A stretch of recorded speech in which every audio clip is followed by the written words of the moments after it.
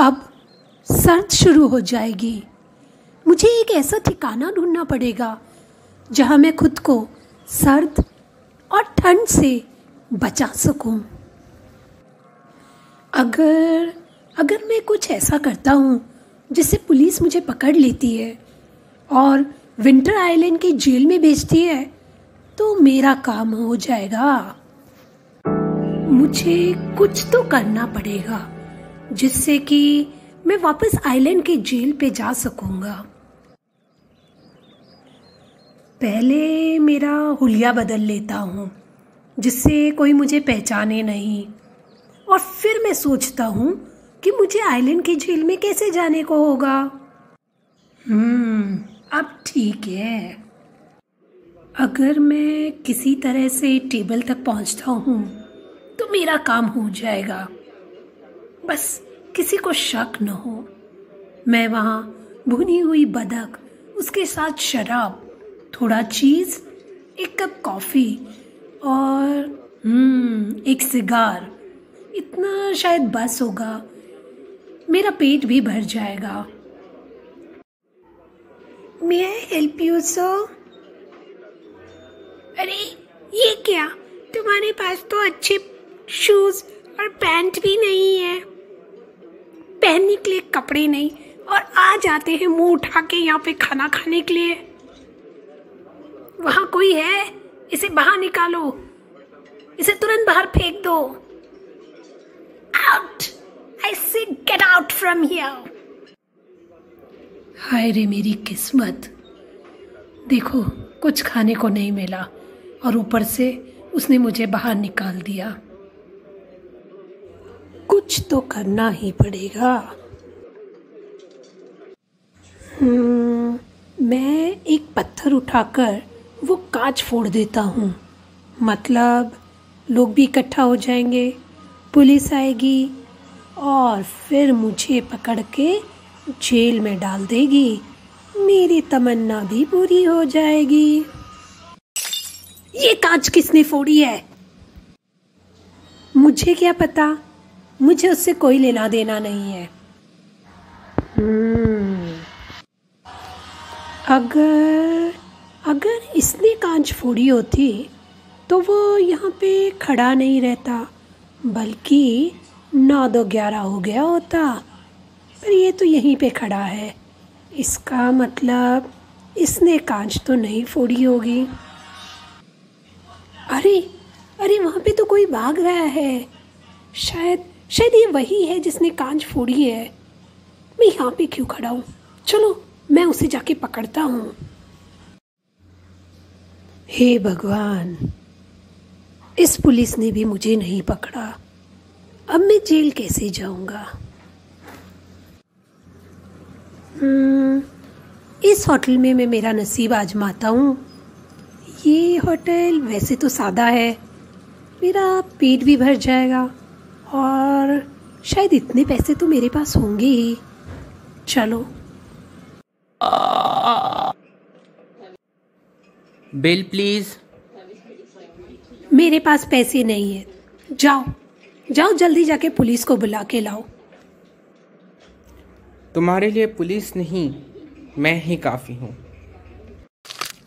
इसने तो मेरी हड्डी पसड़ी तोड़ दी। पुलिस को भी नहीं बुलाया। अब मैं जेल कैसे जाऊँगा? कुछ और सोचता हूँ। Hmm, idea. याहू!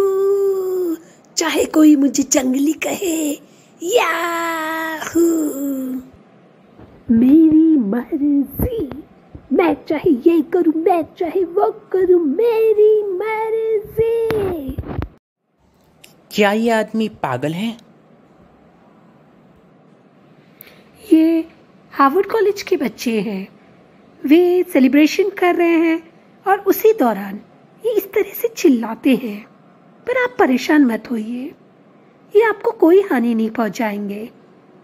हमें ऊपर से ऑर्डर्स है कि हम इन्हें गिरफ़्तार न करें। आज मेरे नसीब में ये क्या लिखा है? क्यों कोई पुलिस वाला मुझे आज नहीं पकड़ रहा है? क्या मेरा आइलैंड जाने का सपना बस सपना ही रह जाएगा? मैं उसका छाता चोरी करता हूँ। आपने मेरा छाता क्यों लिया? ये मेरा छाता है। पर ये तो मेरा छाता है। सच? मैं नहीं दूँगा छाता। अगर आपको छाता चाहिए तो पुलिस को बुलाइए। जाइए, यही चौक में खड़े हैं वो। जाइए। बेटा, मुझे माफ़ कर दो। ये तुम्हारा ही छाता है होगा। मैं गलती से शायद इसे उठा लाया। तुम ही रख लो इसे। अरे, पर पुलिस, अरे। मुझे इस छाते का क्या काम? इसे यहीं पे फेंक देता हूँ। ये पुलिस वाले ऐसे कैसे?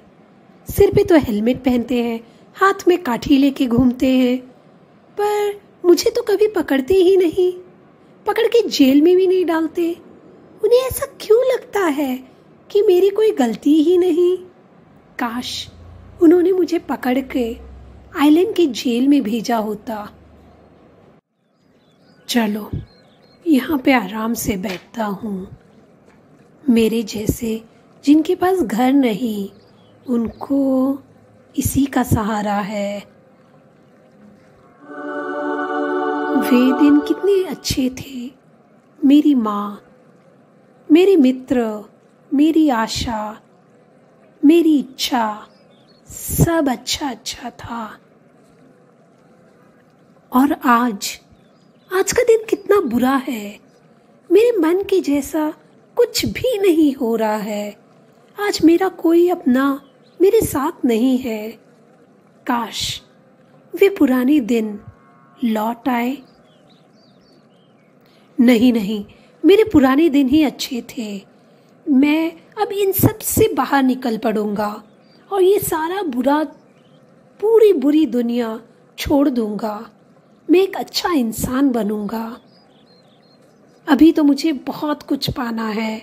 मैं मेरी पूरी इच्छाएँ पूर्ण करूँगा। मैं कल ही काम ढूँढने जाऊँगा। वो जो फर का व्यापारी है, मेरी उससे पुरानी पहचान है। उसने मुझे शायद एक ड्राइवर की नौकरी देनी चाहिए। मैं कल ही उसके पास जाऊँगा। तुम इधर क्या कर रहे हो? वो वो मैं।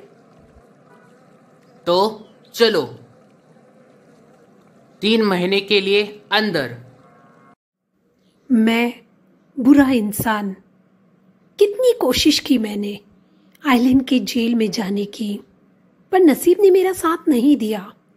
और आज और आज जब मैं एक अच्छा इंसान बनना चाहता हूँ तब मुझे जेल में जाना पड़ रहा है। आपको हमारी कहानी कैसे लगी? कमेंट करके ज़रूर बताइएगा। आपने अभी तक हमारे चैनल को सब्सक्राइब नहीं किया होगा तो वो भी कीजिए। शेयर करने के लिए भूलना नहीं। बाय।